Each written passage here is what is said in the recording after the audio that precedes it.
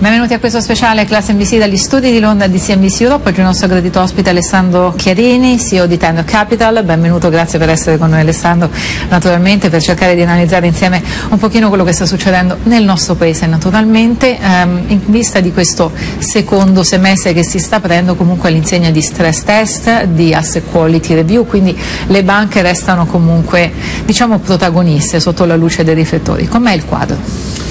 Il quadro non è particolarmente chiaro e limpido, abbiamo una crisi economica che va avanti da sette anni, in sette anni l'Italia ha perso sette punti percentuali del PIL, ha avuto un impatto importante sia sulla domanda, sui consumi e anche sulla produzione. Naturalmente l'effetto collaterale è un sistema bancario che è diventato molto avverso per quanto riguarda il rischio. E se vediamo anche i dati del 2014 abbiamo visto un primo trimestre in Italia negativo, adesso aspetteremo i dati del secondo trimestre, ma la Banca d'Italia ha fatto indicazione per una crescita del PIL in Italia nel 2014 a 0,2%, dunque molto basso e molto anemico come crescita. Per quanto riguarda il 2015 siamo ancora a livelli molto bassi, 0,5%, ma la cosa importante che noi abbiamo visto è che un'avversione al rischio da parte delle banche italiane ha comportato un meno circolazione della liquidità e un aumento dei crediti in sofferenza. Esatto, questo è soprattutto un grosso problema, aumento dei crediti in sofferenza, un problema che le grandi banche, Unicredit, Intesa hanno tentato di risolvere creando una unit a parte, se vogliamo chiamarla bad bank una unit a parte, ma può veramente funzionare anche perché poi i crediti in sofferenza sono aumentati moltissimo su tutti i fronti nell'ultimo periodo in Italia. È vero, dal 2008 ad oggi abbiamo avuto un incremento dei crediti in sofferenza sugli impieghi totali da sotto il 5% a circa il 18%, questi sono ultimi dati che arrivano dalla Banca d'Italia. Naturalmente come ambiti e settori di riferimento in prima posizione abbiamo le amministrazioni pubbliche, poi abbiamo le società non finanziarie, poi le famiglie produttrici e le famiglie consumatrici, ma comunque è un'indicazione molto negativa perché anche le banche stesse con livelli di credito in sofferenza così alte non danno più impieghi, a quel punto loro hanno fatto anche una riduzione del rischio totale abbassando il loan to value che è abbastanza importante, dunque prendono infatti meno crediti, er-, erogano meno crediti. E questo rallenta l'economia. Esatto, questo è un problema che naturalmente in Italia c'è sempre stato, in ogni caso l'accesso al credito, o tassi molto alti o comunque proprio difficoltà ad avere un prestito perché ci sono comunque dei, dei canoni, delle richieste insomma, che sono molto difficili da ottenere. Quanto possono aiutare le recenti mosse della Banca Centrale Europea, in particolare questo targeted LTRO? Sì, infatti Draghi ha fatto l'emissione di questo targeted LTRO che è dedicato ai finanziamenti delle piccole e medie imprese e si eseguirà in due tranche. A settembre avremo i primi 400 miliardi di euro con durata 4 anni, a dicembre 600 miliardi di euro durata 4 anni. Comunque è dedicato al finanziamento delle piccole e medie imprese. Le banche possono attingere a questo LTRO però entro, febbraio, entro, gennaio 2016 deve essere direzionato verso le piccole e medie imprese, altrimenti rimane un LTRO normale. Se invece è dedicato verso le piccole e medie imprese, a quel punto la durata si estende a 4 anni.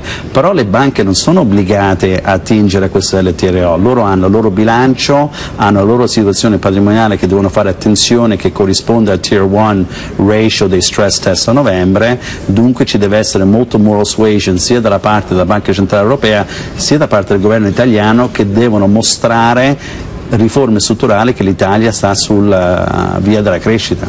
In questo momento è sicuramente un momento molto caldo, riforme strutturali che sono state annunciate, che per il momento ancora non sono giunte o comunque solamente in, in parte effettivamente. Alessandro, com'è qui la situazione veramente? Perché c'è anche da tenere in conto quella che è la, poi è la percezione che si ha dal di fuori dell'Italia, no? del nostro eh, paese. Naturalmente tante cose sono cambiate, un governo Renzi, le elezioni hanno detto comunque Renzi effettivamente poi al governo con il 40% dei voti, però ci sono ancora tanti punti interrogativi perché queste riforme hanno difficoltà poi a passare. Sì, le banche naturalmente sono preoccupate. Lo stress test che adesso sarà automatico a novembre hanno fatto una versione informale a maggio e dunque abbiamo avuto adesso dei incrementi, aumenti di capitale da parte di varie banche intorno a 10 miliardi e mezzo.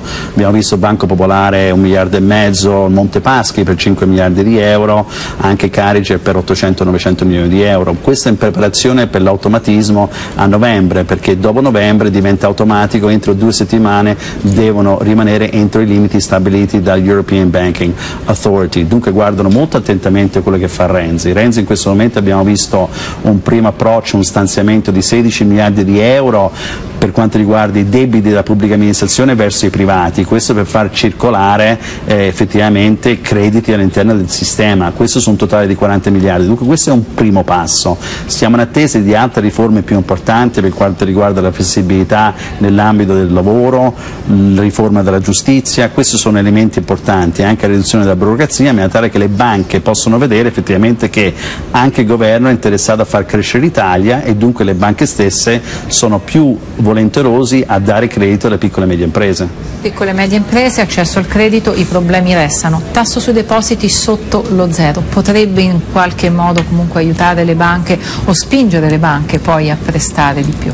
Questo è un dato tecnico, diciamo che effettivamente dicono le banche se voi volete mantenere i soldi overnight vi, vi carichiamo dei costi, dunque in quel punto le banche devono cercare altri impieghi. Facendo il targeted LTRO a quel punto spingono le banche verso altre forme di credito che potrebbero aiutare a far circolare l'economia. Noi siamo molto attenti a guardare effettivamente lo sviluppo del PIL in Italia, questo è importante perché 0,2 è veramente troppo basso, anche 0,5 abbiamo un inizio di crescita ma stiamo parlando del 2015, dobbiamo veramente vedere dei segnali importanti, speriamo in un dato che è magari flat per il secondo trimestre ma che abbiamo un dato positivo per tutto l'anno, così c'è speranza per l'Italia per crescere in futuro. Anche perché uno dei grossi problemi in questo momento è la riduzione del debito, rimane forse il problema principale nostro, del, de, della nostra insomma, economia e naturalmente con una crescita così bassa ridurre poi il debito PIL diventa sempre più difficile Alessandro. Eh sì, diventa sempre più difficile perché abbiamo, parliamo di numeri enormi, anche per quanto riguarda i crediti in sofferenza stiamo parlando di 166 miliardi di euro, stiamo vivendo, stiamo vedendo alcune banche che stanno cercando di staccare, di vendere alcuna parte di questo debito, anche delle società di private equity straniere che l'hanno fatto in Spagna per esempio, l'hanno fatto in Portogallo, adesso stanno mettendo un occhio anche sull'Italia, questo potrebbe essere l'inizio di un processo importante interessante alle banche per migliorare gli stati patrimoniali e anche per l'Italia per dare un segnale concreto per investitori stranieri di venire in Italia che è un paese in cui bisogna investire. Ecco, naturalmente bisogna fare di più anche per attirare questi capitali eh, stranieri. Vi aspettate che ci possano essere altri aumenti di capitale? Abbiamo citato alcune delle banche che hanno fatto degli aumenti negli ultimi, negli ultimi mesi, nelle ultime settimane. Vi ne aspettate altri da qui alla fine dell'anno, magari prima comunque di stress test e asset quality review, Alessandro? Il problema è un discorso temporale, perché una volta che entra in atto questo automatismo le banche hanno due settimane di tempo. Se si trovano più banche a fare aumenti di capitale nello stesso periodo diventa abbastanza difficile per le banche fare aumenti di capitale tutto ruota intorno al, al, al, PIL italiano. Se il PIL eh, inizia a crescere e girano i crediti, dunque gira l'economia, a quel punto il Tier 1 capital ratio delle banche dovrebbero rimanere abbastanza ferme. Se invece assistiamo a un PIL che va in tendenza negativo o neutrale, ci potrebbero essere nuovi aumenti di capitale. Infatti ci possiamo aspettare più una probabilità di nuovi aumenti di capitale verso la fine dell'anno o all'inizio del 2015 rispetto a sei mesi fa. Ecco, è anche vero però che le nostre banche sono state abbastanza solide finora con tanti problemi però più solide di altre banche di altri paesi forse anche per esempio la Germania. Non hanno avuto problemi dei paesi appunto come, come la Germania la stessa Inghilterra la Francia. Non ci sono stati questi eh, problemi. Non ci sono stati aiuti arrivati dall'Europa come è successo in altri paesi in primis la Spagna perché gli aiuti li ha avuti soprattutto sulle banche. Però i problemi poi restano a livello strutturale a livello eh, a tanti livelli perché come diciamo sì a livello strutturale però c'è poi anche il livello di mentalità che forse è difficile in questo momento cambiare, Alessandro. Beh, da un lato la Banca d'Italia adotta una forma restrittiva molto ampia per quanto riguarda i crediti in sofferenza, anche se un credito è garantito, il mancato pagamento di un'unica rata comporta un credito in sofferenza per le banche italiane, questo non è vero per il sistema bancario europeo, dunque la Banca d'Italia è molto stringente per quanto riguarda le banche italiane e giustamente, per questo che noi abbiamo un numero elevato di crediti in sofferenza, 18% rispetto all'Europa che è una media intorno a 10, dunque effettivamente noi rispettiamo la negatività adesso rispetto a molto altri che probabilmente arriverà in futuro e questo naturalmente è un dato positivo, però una volta che viene sotto controllo dell'European Banking Authority i livelli del Core 1 Tier Ratio diventano più un discorso europeo, non un discorso italiano. Io credo le banche siano preparate, però servirà l'aiuto dell'Italia stessa, una ricrescita del PIL per aiutare tutto il sistema ad andare avanti. Ecco, però cerchiamo di capire se in questo momento vale la pena allora comprare le banche, vendere le banche, è un buon investimento, sono un buon investimento o sono un investimento ancora troppo rischioso Alessandro? Beh, facciamo una distinzione tra l'azionario e l'obbligazionario, se ci troviamo in una situazione che il PIL italiano effettivamente cresca al 0,2% è un dato veramente anemico e dunque è più probabile che avremo ulteriori aumenti di capitale, questo avrà un impatto negativo per quanto riguarda gli azionisti. D'altro lato invece gli obbligazionisti, specialmente gli obbligazionisti dei senior bond, delle emissioni senior invece sono tranquilli perché effettivamente con aumenti di capitale non, non ci sono problematiche in termini di rimborso, dunque favoriamo continuamente le parti obbligazionarie delle banche, la parte azionaria aspetteremo verso la fine dell'anno prima di essere più positivi. Ecco, invece per quanto riguarda proprio il panorama europeo, come sono le altre banche? Abbiamo detto quali sono stati i problemi pre-crisi, pre-stress test, pre-asset quality review, prima che fossero decisi poi diciamo gli stress test e le asset quality review. In questo momento invece come vede proprio il quadro bancario anche in Europa, Alessandro? Sono, sono sotto tensione, tensione, alla fine, perché poi eh, questo nuovo stress test prenderà in considerazione 128 banche europee e anche 6 banche non europee, perché entrano nell'ambito banche come UBS, come Royal Bank of Canada, che sono stati diciamo, identificati come banche che potrebbero avere un rischio sistemico in Europa se dovesse succedere qualcosa, dunque l'hanno inserita all'interno di questo gruppo. Dunque tutti stanno riguardando i loro patrimoni, tutti stanno riguardando il loro stato patrimoniale, i loro balance sheets per assicurarsi che effettivamente a ottobre novembre riescano a rispettare questo Tier Core 1 Ratio dell'8% e fanno molta attenzione e sono molto attenti a tutto il discorso che fa Draghi per quanto riguarda il long term refinancing operation perché lì possono attingere per cercare di migliorare anche i loro valori patrimoniali, dunque molta attenzione. Detto questo, le banche americane invece hanno sofferto molto, naturalmente la grande crisi è partita proprio dalle banche americane, la famosa crisi dei subprime, abbiamo visto poi il crollo di